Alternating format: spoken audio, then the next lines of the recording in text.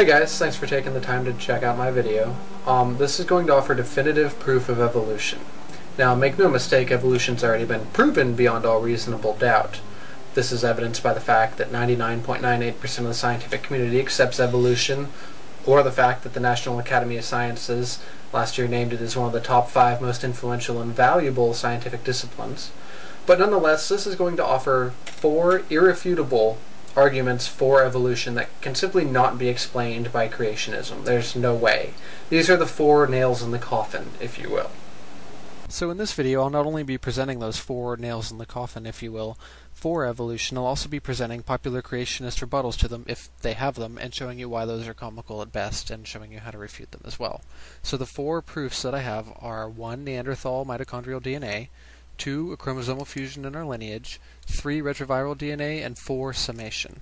So to begin, let's discuss Neanderthal mitochondrial DNA. Now, Neanderthals were a fascinating group of hominids who disappeared roughly 40,000 years ago. They were so sophisticated, in fact, that they had music, art, buried their dead, had other assorted rituals, and cared for their handicapped. Now, this poses a problem for creationism because the, the Bible doesn't mention hominids that did that, yet were created and were not human.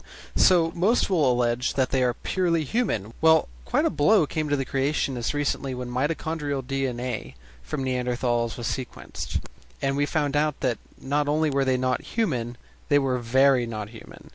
Now, don't get me wrong, scientists have known that Neanderthals weren't human for a long time due to comparative anatomy, among other things. But this was a definitive nail in the coffin. One creationist suggested that they could have possibly been contaminated by modern DNA. Well, that would make the samples appear more human, not less human. So that's completely blown out of the water. Furthermore, contamination is not an issue because the sequencing took place in two simultaneous trials at different parts of the world, each getting the identical result. And again, these are also confirmed by subsequent Neanderthal specimens that have had their DNA sequenced as well. So again, contamination is not an issue. Now, for a rebuttal to my Neanderthal argument, I actually debated with Dr. Jonathan Sarfati at the beginning of this month. That's December of 2007, and he essentially raised four main points um, as far as why the Neanderthal evidence was false. Firstly, he said that they were very smart and listed a bunch of other human-like qualities, which nobody disputes and says nothing about the DNA. Secondly, he said the samples could have been contaminated, but again, that would make them appear more human. Thirdly, he said the Bible said so. And fourth, he said that the variation that we see is in the realm of what we see in modern human variation. Well, this image right here, published in Cell a couple years ago, completely blows that argument out of the water, as you can clearly see that the variation between human, human, and human and Neanderthal aren't even close. Despite pushing it several times, Dr. Sarfati had no response or no rebuttal whatsoever for my arguments. Now, the second nail in the coffin evolution has supporting it is the presence of fused chromosomes in our genome. Dr. Ken Miller of Brown University does a fantastic job of explaining this, so I'll simply turn it over to him. The second thing that you saw at the trial was that when data was introduced at the trial, which I and another witness introduced from whole genome sequencing, the intelligent design advocates just literally had nothing to say. We weren't asked questions in cross-examination. The other side never brought it up. They never argued against it. They just left it. Here's an example. Um, many of you may know that a few months ago, the genetic code of the chimpanzee was published. Therefore, we can compare our genome to these primate relatives. What do we find? I want to show you one striking finding that dates to about a year ago. You all know that evolution argues that we share a common ancestor with the great apes, the chimpanzee, the gorilla, and the orangutan. Well, if that's true, there should be genetic similarities, and in fact there are. But there's something that's really interesting and has the potential, if it were true, to contradict evolutionary common ancestry. And that is, we have two fewer chromosomes than the other great apes. We have 46, they all have 48. That's very interesting. Now, what does that actually mean? Well, first of all, um, the 46 chromosomes that we have, you got 23 from mom and 23 from dad. So it's actually 23 pairs. These guys have 24 from each parent, so they have 24 pairs. So everybody in this room is missing a pair of chromosomes. Now, where did it go? Could it have gotten lost in our lineage? Uh-uh. If it got lost, if a whole primate chromosome was lost, that would be lethal. So there's only two possibilities. And that is if these guys really share a common ancestor, that ancestor either had 48 chromosomes or 46.